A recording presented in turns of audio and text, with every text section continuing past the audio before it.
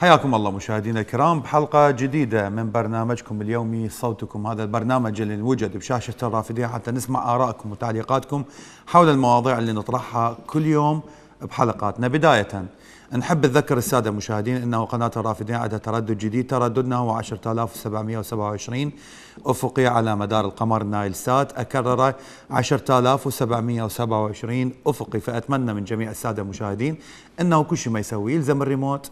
ويطب على الإعدادات بالريسيفر اللي يمه ويدخل هذا الرمز حتى نظل متواصلين وياكم. 24 على 24 أي شخص يحب يتصل أو أي مشاهد ومتابع لقناة الرافدين يحب يتصل بينا من زاخو إلى الفاو عندنا رقم مخصصات للداخل العراقي اللي تشوفوهن جوا ذني الاثنين تقدرون تتصلون بها على أي وقت من دقائق هاي الحلقة. إضافة عندنا الأرقام الثلاثة ذني تشوفوهن ذني مخصصة إلى داخل العراق وإلى خارج العراق على حد سواء تقدرون تتصلون. فجماعة العراق يقدرون يتصلون على خمس أرقام. أما خارج العراق عندكم ذني الثلاثة. آه، أما برنامج الواتساب رسائل الواتساب تقدر تدزوا لنا إياها على هذا الرقم. هذا الرقم مخصص فقط للرسائل. ما نقدر نستقبل به مكالمه صوتية ما نقدر نستقبل به رساله صوتية فلا حد يزعل من عندنا تكتبوا لنا هواية ليش ما نجاوبكم على الواتساب؟ الواتساب ما يستقبل اتصالات فقط رسائل أتمنى تكون مكتوبة متبوعة باسمكم ومكانكم حتى نقراها بالدقائق الأخيرة. اليوم فعليا أكو تجدد ل لثورة تشرين. اليوم فعليا ما أقول لكم إعادة ولادة لأن هي ما ماتت. ما أقول لكم إنه هي آه، آه، رجعوا من جديد لأنهم كانوا قاعدين ببيوتهم. لا هم ظلوا مستمرين. ممكن الزخم لثورة تشرين في فترة من الفترات نتيجة جائحة كورونا وما يحصل في العراق وعدم سيطرة الحكومة العراقية على على المصيبة هاي والمرض وما عندنا منظومة صحية يقدر إنه الإنسان أو العراقي يعتمد عليها فخافوا على أنفسهم وعلى أرواحهم وعلى أولادهم. وبيوتهم فقعدوا ببيوتهم بعض الشيء لكن اليوم كان أكو زخم جديد لثورة تشرين نتيجة أكو أيام مستمرة. إطلاق الرصاص الحي على المتظاهرين تحديدا بمحافظة ذيقار تحديدا بالناصرية تحديدا على ثوار ساحة حبوبي هو اللي خلى زخم الثورة يرجع من جديد.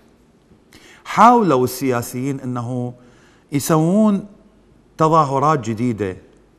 حاولوا السياسيين إنه يحتلون ساحة التحرير مثلا ويطلعوا لنا خمسة ستة سبعة آلاف واحد من مؤيديهم ويطلعوا لنا الإعلام الحكومي ويقول جماهير ملايينية تشارك أو مليونية عفوا تشارك في آه، تظاهرة ضد الاحتلال الأمريكي وضد التواجد الأمريكي و و و ومن هذا عذروني الخريط لكن ما قدروا يسيطرون على شيء توجهوا إلى العنف العسكري اللي شفناه بداية الثورة. إذا تذكرون قبل من كانت قنابل الغاز والإطلاق الحي وبنادق الصيد وهواية. رجعوا هسه مرت اللخ يستخدمون إطلاق الرصاص الحي على المتظاهرين واعتقال المتظاهرين وتخويف الناس وتحديدا تشوفون الفيديوهات اللي دا تنتشر وواحد من عندها الفيديو اللي بديناه في حلقة اليوم بعد شارة البداية. هذا اليوم مواجهات ما بين الجيش والميليشيات والمتظاهرين في الناصرية بالحبوبي. المتظاهرين أحلى شيء بده يسووه. هو ما عنده سلاح. هو ما عنده مدفع ما عنده رشاشة ما عنده مدرعة ما عنده أي شيء.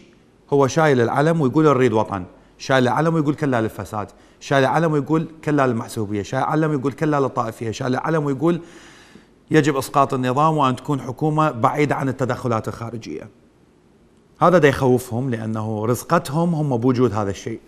فبالمقابل رجع القتل والاعتقال وتخويف الناس. الحلو اللي شايل العلم وما شايل رشاشة هذا يضرب بيه بطلقة ويضرب بيه برشاشة ويضرب بيه مي حار وسيارات الطب تدهس وتطلع وتسحق وتطلع ويرجعون المتظاهرين كما كانوا يلتمون ويسيطرون على الساحة غصبا ما على الجيش غصبا ما على الميليشيات غصبا ما على الحكومة غصبا ما على مصطفى كاظمي ونور المالكي وعمار الحكيم وكل دول السياسيين. فاحنا نريد نسأل سؤال مهم. ليش الحكومة مصرة تقتل الشعب العراقي؟ نريد نفهم هذا الشيء. أبو زينب من النجف حياك الله. أبو زينب؟ ألو السلام عليكم. عليكم السلام والرحمة والإكرام. تحية لك ولكل المشاهدين الكرام. حياك الله أخوي. هذه مثل ما جنابك تفضلت قلت آه، لم تولد من جديد لأنها لم تموت. نعم. ولكن هي عملية استمرار. هنالك قاعدة في زاوية ثابتة. نعم. تقول كل ضغط يولد انفجار. نعم. لا شيء يصدر من فراغ. نعم. ماكو إنسان وخاصة مثل العراق في بلد نفطي يعج ويضج بالخيرات. ها؟ وعايش بحالة ما نقول مترفة إنما حالة طبيعية ومأمن عيشه وعايش أهله و يعني وعائلته ويطلع يتظاهر ويطلع يعرض نفسه للقتل ويعرض نفسه لل- للاعتقال ويعرض نفسه لأشياء آه، مؤذية. مثل ما يتفضل بعض ال- المسمين جزافا بالسياسيين قبل يومين أو ثلاثة يقول هذه ما تسمى بثورة تشرين هي آه، مدفوعة الثمن من الخارج من جهات أجنبية أو كذا لإسقاط العملية الديمقراطية. هي اولا وينها العملية الديمقراطية؟ وين أكو ديمقراطية بالعراق؟ ها على قولة نعم. واحد من التقوا بيهم قال له الروح الصادق الاختراع ننتخب محمد يطلع محمود هذا الإنسان يضحي ويدري أنه ممكن أي رصاصه مقصودة أو طائشة تصيبه قتله. وينكبون أهله. مو؟ نعم. هذا طالع عنده هدف. هذا لو لو لو مو مضطهد. هذا لو لو مو مسلوبه حقوقه المدنية أبسط حقوقه. لا عمل لا سكن لا راتب لا لا مستقبل. في بلد نفطي يعني. كلمه كلمة خطرة ترى كلمة بلد نفطي. بلد نفطي والشعب كاتل الجوع. الآن وصل اليوم إلى 57 و58 ولحد الآن مصرين أنه بموازنة 21 يحسبوها 42 طيب هاي ال 15 16 دولار يوميه على أي أساس؟ وين تروح؟ هاي من جيبك تندفع أخوي. 4 ملايين كيف تطلع؟ هاي من جيبك. وجيب من راح تروح. وما عندهم غير هذا الموظف المسكين يروحون يبتزون يقطعون راتبه واحد يصيح 30% واحد يحصل 8% وهو كاتل الفقر فعليهم هم الناس إنه والحكومة ما تريد تفهم والاحزاب بأنه هذول ما يريدوهم بالكامل. فعليهم أن يفهمون ويستحون من أنفسهم ويغادرون المنطقة الخضراء وشكرا. شكرا شكرا شكرا لك أبو زينب. أبو زينب يعني حكى بنقطتين مهمات. يقول طلع واحد يقول ما تسمى بثورة تشرين. شنو ما تسمى؟ لا شو تريد تسميها. هي عمي ثورة. هو العراق كلها يجي عليك. هو كله ما راضي عليك. شو تسميها تريد؟ المهم مدفوعة الثمن أو أكو ناس تقول مدفوعة الثمن من الخارج من سفارات ومخابرات دول عربية وأجنبية وأمريكية.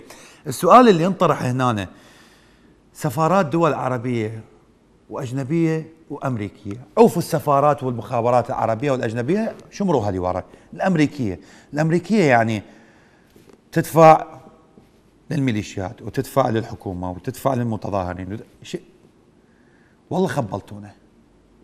يوميا حكت المخابرات وقالت المخابرات. زين أريد أسأل سؤال الأخ.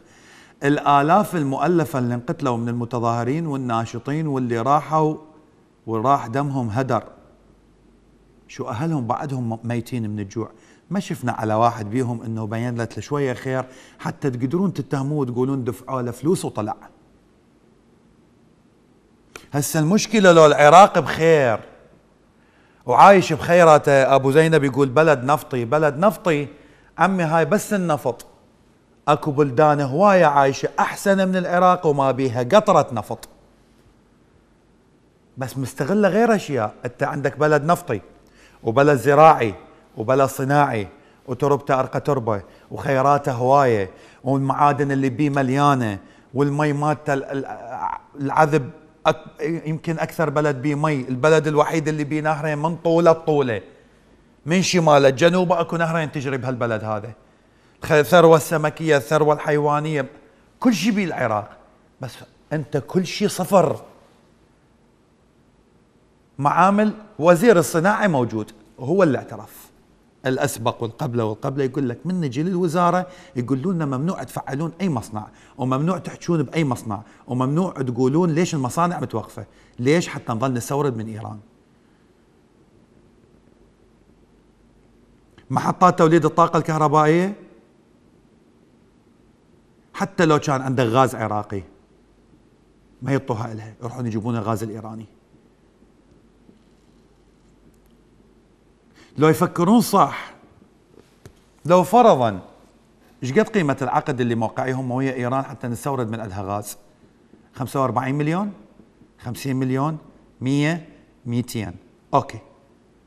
إذا ردنا نستثمر الغاز العراقي وجبنا شركات تصلنا لنا محطات لاستثمار الغاز العراقي وكلفتنا 300 مليون. الجباية اللي راح تجي لهاي المحطة العراقية ما راح ترجع فلوسها؟ هي هاي المشكلة. إحنا المشكلة إنه مو بس بلد نفطي إحنا بلد نفطي وعقلي وخيرات بي وتربة بي وكل شيء بي بس ما عندنا استغلال. ليش؟ لأنه اللي دا يحكم مو ابن هالبلد هذا. ما عنده غيره ما عنده ناموس ما عنده شرف. لأن هو لو عنده ذرة شرف اللي دا يحكم هالبلد سنتهم شيعتهم صابئتهم يزيديهم مندائهم كرديهم عربيهم كلهم اللي قاعدين بمجلس النواب وبمجلس الوزراء وبمجلس القضاء كلهم ذولا. وبرئاسة الجمهورية كلهم ما عندهم غيره. لأن لو عنده ذرة شرف كان فكر بهالمدينته على الأقل. رؤساء مجلس النواب هسه إذا نجيبهم واحد واحد. إيش سووا للمدن مالتهم؟ رؤساء مجلس النواب من 2005 لليوم هم سنة. محمود المشهداني اياد السامرائي أسامة النجيفي آه، سليم الجبوري محمد الحلبوسي. إيش سووا صلاح الدين الموصل الانبار الديالة؟ من السماوة؟ أبو محمد. السلام عليكم عليكم السلام والرحمة والإكرام. الله يخليك أستاذ. طبعا أستاذ التظاهرات آه، رجعت تجددت بسبب آه، سوء نظام الحكم بالعراق وأكيد الاستفزاز المستمر من قبل القوات الحكومية للمتظاهرين. وأيضا عملية الاغتيال أو الاغتيالات المستمرة ضد الناشطين المدنيين التشرينيين. يوم بعد يوم استهدف المأساة الزود يعني أو تزيد عندنا بأبناء الشعب العراقي وخاصة محافظة الناصرية بسبب تجاهل مطالب المتظاهرين وعدم الاهتمام بمطالبهم وعدم الاهتمام أصلا بأبسط أمورهم. نعم.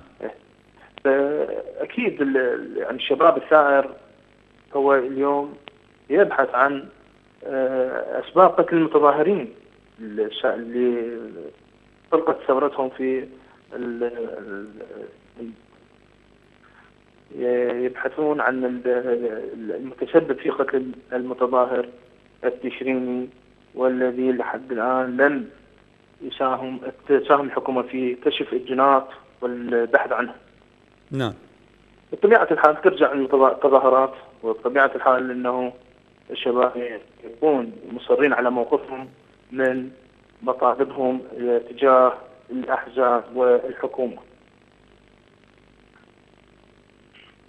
نعم. نعم نعم. أكيد أستاذ يعني الأمور اللي استجدت أيضا هنا عندنا بالعراق الوضع الاقتصادي المتردي وصعود الدولار تجاه الدينار العراقي وغلاء السوق وارتفاع الأسعار وضعف الراتب للموظف كل هذه الأمور أيضا راح تساهم في تاجيج الثورة واشتعالها و توجيه اصابع الاتهام للحكومة بالتقصير تجاه المواطن. العراق يشهد مرحلة آه، صعبة هذه الأيام بسبب آه، سوء الإدارة وسوء الحكم تعنت الأحزاب ومساهمتها بتعقيد الوضع وتحالفاتها المستمرة مع الدول المجاورة وبالذات إيران وتنفيذ مخططاتها السلبية في المجتمع العراقي وبالعراق بشكل نعم نعم. أكيد ال- الوضع معقد بالعراق والمشهد آه، يتجه نحو المجهول بسبب سياسات الأحزاب المتمركزة والحاكمه في المنطقة الخضراء في بغداد. نعم. ونسأل الله أنه نتحرر من هذه الطغمة ال- الباغية التي أفسدت وأمعنت بالفساد تجاه أبناء الشعب العراقي الحر. والتي غيبت الكثير من الطاقات وال آه، الرجال الحقيقيين اللي كانوا يساهمون في بناء هذه الدولة عندما كانت تسمى دولة العراق أو الدولة العراقية. نعم نعم. الآن أصبح العراق عبارة عن آه، دولة تأتمر بأوامر إيران وولاية الفقيه. وهذا بالتأكيد راح يأجج الشعور الوطني عند أبناء الشعب العراقي لأن يبقون العراقيين هم ناس يحملون آه، الحس الوطني مهما آه، غلبت عليه آه، سياسات الأحزاب والطوائف أو الناس اللي تحكم باسم الطائفة. فإن شاء الله إن شاء الله العراق نحو التحرير. وأشكركم جزيل الشكر شكرا شكرا شكرا جزيلا لك أبو محمد.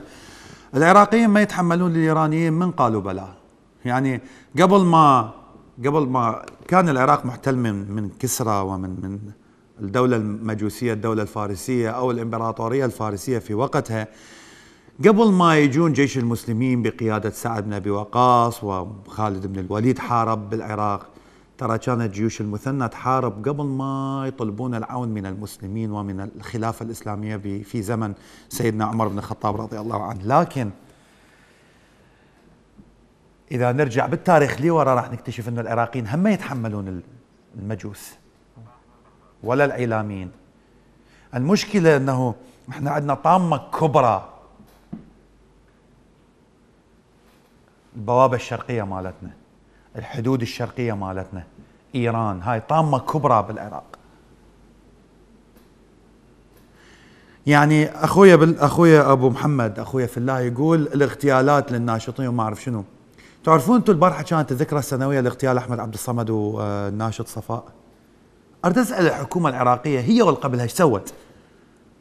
شنو شنو وين وصلت بالتحقيق في في قضية اغتيال الناشط أحمد عبد الصمد؟ ومو بس أحمد عبد الصمد.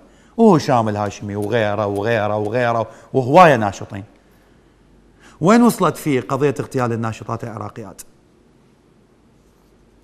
وين وصلت في قضية التعذيب اللي صار على يد الميليشيات في ال- التظاهر وفي ساحات الثورة؟ كل شيء ما وصلت. بس لما يجيهم واحد من محافظة معينة ويلزموه يطلعوا لنا على القنوات الرسمية مالتهم ومن الكتل معترف هذا قبل صارت محكمة وانحكم إذا بقى عايش صباح من بغداد حياك الله. عليكم أفل. هيا هلا بيك أخوي. آه، بالنسبة للقمع الحكومي يعني إحنا يعني خلينا نخلي المواطن العراقي بالصورة. إن نعم. منو اللي جاي يقمع المتظاهرين؟ وإحنا نعرف المطالب مال المتظاهرين سواء المحافظات السنية الستة اللي سابقا بال 2012 و13 خرجوا المحافظات السنية يطلبون 12 مطلب 13 مطلب. والمالكي قمعها بأسلوب يعني أسلوب يعني تدمير المناطق كلها. دخل داعش والحشد اللي سواه والموصل والبيجي والأنبار دمر محافظاتنا كلها بحجة الإرهاب. اللي جاي يصير هسه نفس اللي صار بالمحافظات السنية جاي يصير هسه حاليا بالمحافظات الجنوب. من اللي جاي يقمعهم ويقتلهم؟ من اللي جاي يغتال بالناشطين السياسيين والناشطات؟ من اللي جاي يسوي هالشيء كلها جاي يسويها الحكومة بأيدي الحشد المقدس اللي سووه مقدس على على على ولد الخايبة سووه مقدس علينا. الحشد الشكل بفتوى من المرجع النجف محاربة داعش. المفروض من خلص داعش وتم تحرير المناطق وهو تخريب المفروض هذا الحشد يحلونه أو يضيفونه إلى الأجهزة الأمنية أو وزارة الدفاع أو وزارة الداخلية لأن إحنا مو بدينا الامر كان إحنا ما نقبل هالشيء هذا. بس هم الدولة لهم الحزب الدعوة في سبيل ما يصير عبء هذا الحشد عبء وأداة بيد إيران لتدمير المجتمع العراقي بالكامل. يعني فالمفروض بيهم يضيفوهم ويخلصون من إحنا هذا التقشف الموجود عندنا والأزمة الاقتصادية الموجودة الخانقة اللي حتى رواتب ما يقدر يسددون. ودمروا الاقتصاد البلد والزراعة والصناعة وصرنا بلد مع الأسف التقارير هسه العالمية تقول بغداد اسوء عاصمة بالعالم لا يمكن العيش بها بسبب من بسبب المرجعية وسكوتها وبسبب الحشد الولائي الحشد الولائي اللي ولاء إلى إيران نحكي. فهذا التدخل من الحشد على المتظاهرين وقمعهم وقتلهم واعتقالات عشوائية. يعني يعني وقفت صامت الدولة والقانون ومجلس القضاء الأعلى اللي مع الأسف على أبناء جلدتنا إحنا كسنة نحكي لك. هم فرضوها هاي السنة الطائفية سنة وشيعة. قبل يطببونه وإعدام ومؤبد وسجون مليانة بأبناء السنة. ومحاكمهم ما تطول. أو يظل على جراء التحقيق عشر سنوات أو تسعة بدون تهمة المخبر السري. أو ينحكم اعدامه ويتم اعدامه هسه حاليا افترم على آه، أهل الجنوب. ويا القضاء القضاء مثلا هاي الاغتيالات والكواتم والعبوات والاعتقالات القضاء وقف صامت أمام منفذي الاغتيالات. ليش؟ لأن هذول بالحشد والحشد فوق القانون. يابا هسه اللي صار بينا إحنا تحملناه وإن شاء الله ازمه وراح نتعدى منها، لكن اللي جاي يحصل بالجنوب جرائم. جرائم من من من من حشد دمر العالم. هاي أخ صباح سؤال يعني أنت بما أنك ذكرت القضاء هو أكو فد يوم القضاء وقف فيها الشعب العراقي؟ يعني بحيث إنه اليوم بس لأنه دول الحشد سكت لهم؟ إحنا إحنا القضاء هذا القضاء يعني مع الأسف عليه قضاء غير عادل قضاء مسيس قضاء يديرونه قيادات حزب الدعوة. والدليل من 2003 لحد الآن سرقت أكثر من ألف مليار دولار ونعرف السارقين. أما قيادي بحزب الدعوة وغير الأحزاب الباقية أو وزير محمي من قبل الحزب أو قائد ميليشيات أو غيره وكيل وزير والدرجات العليا بالوزارات كلهم فاسدين وسراق وأعضاء البرلمان. بدون استثناء أعضاء البرلمان السنة والشيعة. القضاء العراقي أي ملف فساد من الفاسدين تم إحالته للقانون وأخذ آه، جزاء العادل الفاسد ورجعهم هاي الأموال المسروقة لأن إحنا بأزمة مالية. المفروض بالقضاء أكو ست قيادات سبعة معروفين المالكي وهادي العامري وغيره وغيره وكل ذولي المفروض بيهم يصدر عليهم أوامر قبض ويقول لهم ملكم هاي الأملاك. والمليارات وغيرها في سبيل يساندون الميزانية الدولة الخاوية هسه واللي إحنا مطلوبين، القضاء مسيس، القضاء ما عنده أي إنجاز ضد أي فاسد. نعم, نعم. يعني أي تحقيق ماكو، أي تحقيق عادل ماكو، قضاء مسيس والدليل هذا الصمت المفروض آه، مجلس الأعلى للقضاء المفروض يصدر قرارات هسه ويساند المتظاهرين ويحميهم قانونيا، يقول ما يجوز الشغب والمندسين ويا الشغب والاتحادية من بدر وسرايا السلام. يقول لك ما يصير تقتلون وما يصيرون تقمعون وما يصيروا استخدام الرصاص الحي. المنتسب اللي يستخدم ومن ضمنهم الحشد يعني الحشد هو تابع رئاسة الوزراء وهو تحت تحت أمرة على أساس مصطفى الكاظمي. المفروض أي شخص يستخدم الرصاص الحي والقوة ضد المتظاهرين يحاكم بسجن 10 سنوات 15 سنة طرد من الجيش طرد من الشرطة لكن القضاء هو يريد يعني محمي من قبل الشغب وغيرهم. يعني اللي جاي يصير هسه شعب منتفض ضد منو؟ ضد حكومة فاسدة. اللي جاي يحميه منو؟ اللي جاي يحميه الحشد بالدرجة الأولى. الحشد يعرف إذا انهارت هاي الحكومة هو ما له وجود نعم. والإيرانيين اللي التدخل الإيراني يعرفون انفسهم هاي المظاهرات بالجنوب. راح تقمع الحكومة. ذيل لهم الحكومة للإيرانيين فيقول لك إذا انقمعت الحكومة بعد بشنو نحكم؟ وإحنا دمرتنا إيران. التدخل الإيراني بالدرجة الأولى هو اللي دمر العراق ودمر المجتمع ودمر نعم الاقتصاد نعم ودمر نعم كل شيء.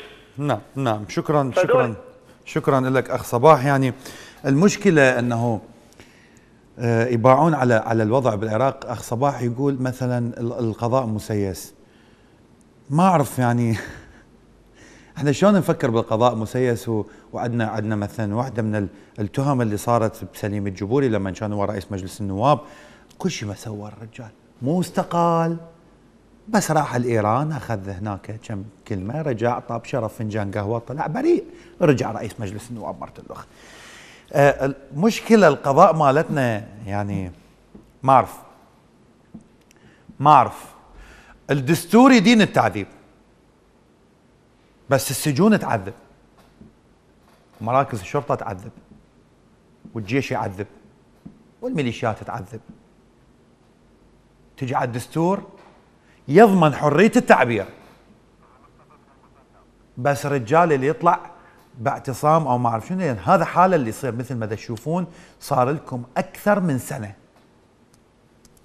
ومن تحكي وياهم يقول لك أنا أكفل حرية الدستور أو أنا أكفل قوانين الدستور. أبو مصطفى من المثنى حياك الله. السلام عليكم.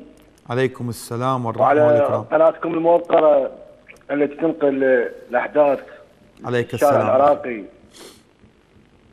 آه، حقيقة بالنسبة للمظاهرات التي تحدث في العراق أرانا الكثير على إيقافها وعلى آه، عدم تمددها إلى كافة المحافظات.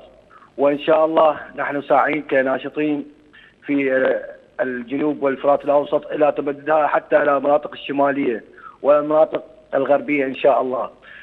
إلا إلا تحقيق هذه المطالب الحق التي طالب بها المتظاهرين بالحياة الحرة بعيدة عن الطائفية والعنصرية والقتل والتعذيب والإرهاب التي جاءت به هذه الأحزاب والميليشيات الداعمة لها.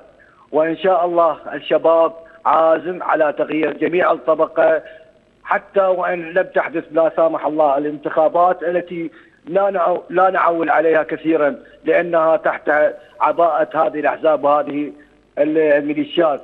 آه، بالسلاح التي تمتلك السلاح تمتلك آه، آه، المال العام والتي تحدد مصير مصير البلد كيفما تشاء حقيقة. نعم, نعم. العفو. فإن شاء الله المظاهرات والاحتجاجات سوف تتوسع وستكون نهاية هذه الصدمة الحاكمة الفاسدة بإذن الله في هذه السنة إن شاء الله. حياك الله أخوي أبو مصطفى وشكرا جزيلا لك لانضمامك لنا برنامج صوتكم مشاهدينا الكرام برنامج صوتكم متواصل وياكم بس بفاصل قصير نرجع لكم لا تروحون.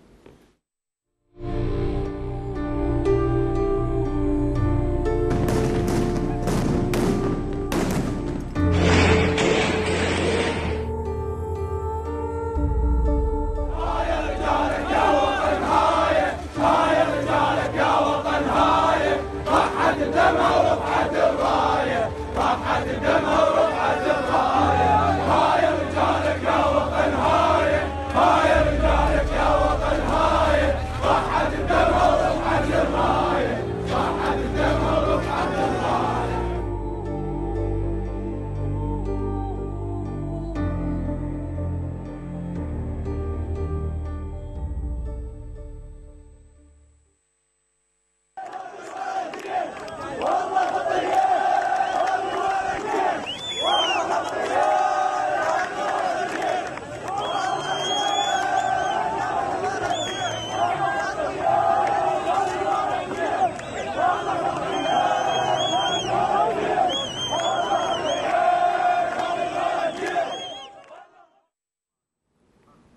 حياكم الله مشاهدين مرة ثانية ببرنامج صوتكم.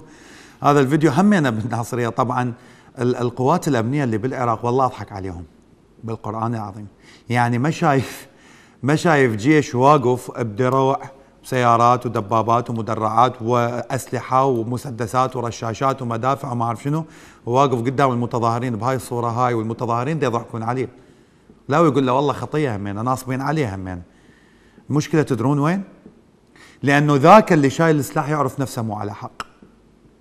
وهذا اللي ما شايل السلاح اللي قاعدين يتهموه جوكري ويتهموه مدفوع من سفارات أجنبية ويتهموه إنه هو مخرب للوطن ويتهموه إنه هو مؤذي ويتهموه إنه هو جاسوس ومندس كل شيء يتهموه يعرف نفسه على حق فما خايف منهم. ممتاز من رومانيا ويانا حياك الله. خير مساء الخير. مساء الأنوار أخوي العزيز.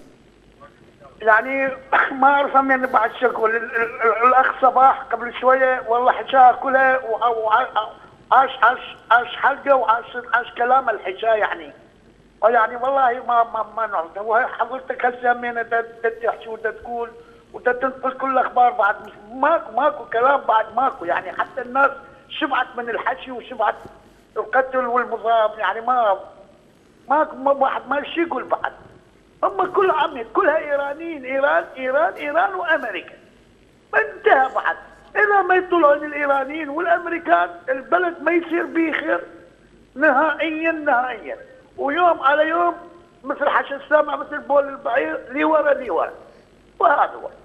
يعني ما إذا الإيرانيين ما يطلعون والجيش كله إيراني الحكومة إيرانية والدولة إيرانية والقضاء إيراني وكلها ايراني من يوم المالكي من 2003 لحد الآن. أيوه نعم. بعد يعني ما ماكو فايدة ماكو فايدة الناس تتقتل وتموت و... هسه جد جد اتفرج على على العراقية قبل شوية. نعم. مسوين الميزانية مال 2000 و 2021 منطين. منطين ميزانية المحافظة مقابل بيع مال سنة مقابل النفط مال يومين. يعني شوف وين وين الفلوس لعد وين الفلوس؟ وين ال... كله نهب وسرقة وفساد و... إيه. هاي هاي هاي الحكومة مالتنا. هاي الحكومة. ما يفكرون ما يشوفون العالم شلون عايشة وهاي الله الله الله يبعدنا من كورونا وما كورونا. شوفوا العالم شلون عايشة عالم فقيرة وعايشة ملوك. بس ما اذا اذا اذا إذا إيش أقول لك بشر لا عنده لا لا لا ذمه ولا ضمير ولا دين ولا مذهب ولا ولا شرف. نعم. إيه. نعم نعم. شكرا شكرا لك أخ ممتاز. أحمد من البصرة حياك الله يا أحمد. أهلا وسهلا. أهلا بيك. ألو؟ ألو أخويا تفضل أخويا تعال هوا أحمد. السلام عليكم. عليكم السلام والرحمة والإكرام. تفضل أغاتي. شلونك أخي افل والنعم منك. نسأل عليكم. اخويا أنا قاعد من زمان نتابعكم ومثل ألو؟ وياك وياك. قول. أنا من زمان قاعد اتابع قناتكم ومح... يعني قناتكم أنا وايد نحترمها ويعني نحب نشارك وياكم. ونتشرف فيك وأهل بصر البصرة الفيحاء وتشاركون بأي وقت. وحيل مظلومين يعني إحنا بشكل يعني من كل الأمور. يعني هاي القضية لها حل ما لها حل هسه أنا بس يعني نسمع بس كلام. زين.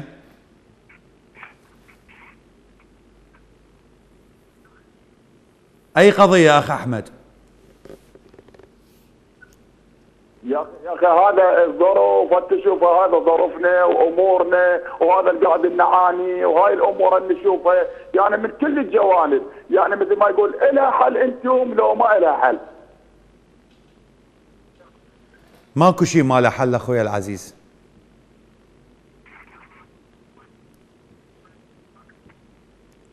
أهل قبل قالوا الكل عقدة حلال. ماكو شيء ما له حل. ونعم بالله. ألو؟ وياك أخويا. انقط انقطع الاتصال ويا الأخ أحمد من البصرة. يعني يسأل يقول أكو حل لهذا الموضوع لو لا؟ أخوي العزيز أهل قبل قالوا كل شيء له حلال وكل عقدة لها حلال. الحل موجود والحل بيد الشعب العراقي مو بيد غيره. لا أمريكا راح تساعد الشعب العراقي لأن هي ما جت الخير الشعب العراقي جتي وكذبت على العالم كله وقالت أسلحة دمار شامل ونشيل آه، ونأسس الديمقراطية ونأسس لكم بلد حر ونعيشكم في في جنة وخلد وما أعرف شنو هاي ونطت أحلام وردية للشعب العراقي. لكن ما قدمت شيء للشعب العراقي من هاي الأحلام اللي اللي, اللي نطتهم اياه. اللي قدمتها للشعب العراقي بالضبط العراق كان عليه بناء سوته ورقه بيضاء مثل هاي. ورجعته إلى العصور الحجرية. شاكر ويانا حياك الله. السلام عليكم عليكم السلام والرحمة والإكرام. أخوي شوف منذ منذ تدخل هذه قوات الاحتلال الأمريكية ونصبت لنا هؤلاء التكفيريين وال وال والمجرمين على رقاب الشعب العراقي ما زالوا يرتكبون الدماء منذ وصولهم ومنذ تأسيس هذه هؤلاء التكفيريين ارتكبوا أبشع الجرائم بحق كل الناس في كل المحافظات. هؤلاء تكفيريين هذول يتامرون بأوامر قوات الاحتلال التكفيرية الغاشمة التي ليس لديهم إلا قوات الاحتلال التي هي اللي نصبتهم على حكم العراق واللي هم أبشعوا بجرائم وحشية بحق وما زال ما زالوا يرتكبون المعاشي بحق الشعب العراقي وبشكل كبير. مع مع الميليشيات والأحزاب والمراجع الدين الفاسدة التي آه، تممت الجرائم بحق كل الناس وسلبت أموالهم ودمرت مدنهم وهجرتهم تماما هذه مراجع الدين الفاسدة وميليشياتها بالكامل والمتعاونه مع النظام التكفيري في إيران، نظام السرقات ونظام المارق هذا الذي يحاولونهم على ارتكاب هذه الجرائم بحق العراق وكل العراق وما زالوا يرتكبون الجرائم. هؤلاء في الناصرية وفي البصرة وفي بغداد وفي بقية المحافظات. نعم ما زالوا يقتلون الناشطين والمتظاهرين. ولا يهمهم الدماء هؤلاء التكفيريين. أمثال هذا الجيش اللي يسمونه جيش عراقي ولا هو لا يمثل العراق بشيء ولكنه يمثل قوة السلطة الظالمة المجرمة. والسلام عليكم ورحمة الله. عليكم السلام ورحمة الله وبركاته. شكرا جزيلا لك أخ شاكر. يعني مشكلتنا والطامة الكبرى هي هي هاي جارة السوء إيران. المشكلة الثانية يعني أخ أحمد يقول من البصرة يقول أكو حل لهاي المشكلة لو لا. إذا نفكر بها بغير طريقة. فلنفرض جدلا إنه ذولا دا يحكمون أوادم. أنا أشك. المهم بس فلنفرض ان هم أوادم ويفكرون بخير هذا البلد.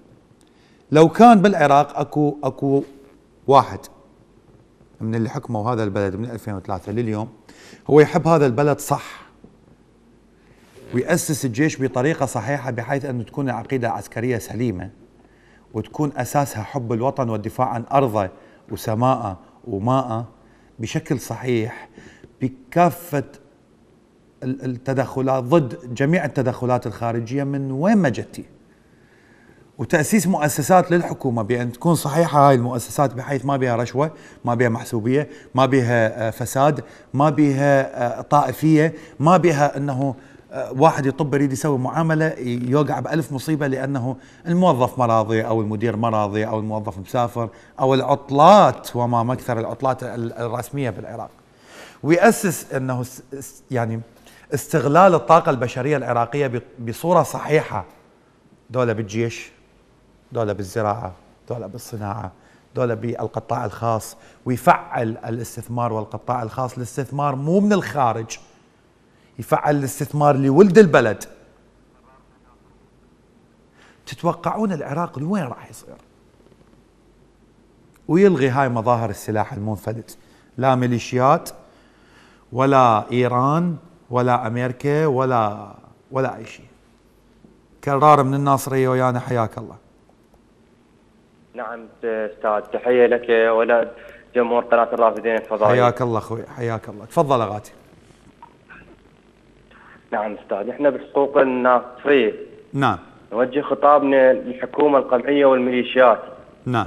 إذا ما راح يوقفون هذه الاغتيالات الجاي تصير والاغتيالات والاعتقالات بحق الناشطين في كل محافظات البصرة والله لعندنا ثورة تشرين. مرة ثانية عندنا العدد والعدة وعندنا الزمان والمكان. لأن نسوي ثورة ثانية ونعود احتجاجات تشرين من جديد وجديد. إذا ما يستجيبون مطالبنا. يكشفون قتلة المتظاهرين بحق الناشطين. ويكشفون عن ويطلقون صلاح المتظاهرين. ولا خلاف هذا الشيء راح يشوفون شيء ما شافوه من عندنا.